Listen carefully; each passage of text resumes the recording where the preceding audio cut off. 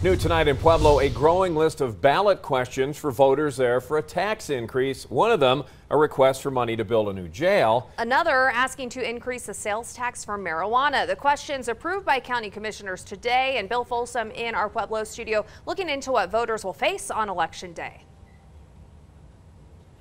The jail and marijuana questions are now part of a half dozen other tax questions. With that many, it can be a tough sell to voters.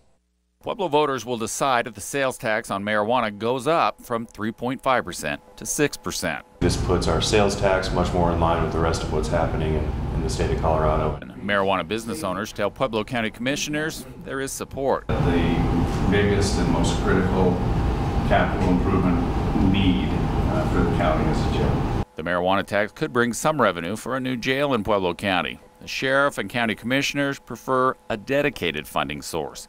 They've approved another ballot measure asking for 0.39% sales tax to pay for a new jail. And I've said many times that I don't want a new jail, but it's needed.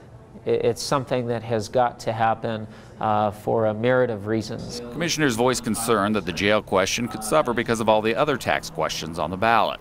A request to extend the mill levy for libraries, both school districts, 60 and 70, asking voters for money, and Pueblo West Fire asking voters for dedicated funding. As you can imagine, my focus will be uh, pretty heavily weighted on these two county ballot issues uh, as they pertain to the jail and uh, bringing marijuana taxes to a more appropriate level. There was no criticism of other tax questions, just statements of making marijuana tax changes and funding for the jail priority.